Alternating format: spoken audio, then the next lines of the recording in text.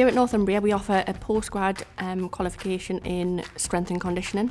This course is around um, being able to support athletes in elite training environments. So on this strength and conditioning program we have three bespoke strength and conditioning modules where you learn about the physiology behind strength and conditioning techniques, You'll learn about um, how to apply those techniques in the field. And the really nice thing about this programme is that we offer option choices. So as an S&C coach, you might be interested in looking at how you can support someone from a sport nutrition point of view. So sport nutrition is one option. Um, we also have sport coaching and sport management options. So our postgrad strength and conditioning course is endorsed by the um, National Strength and Conditioning Association and we were one of the first um, in the UK to um, gain this this recognition.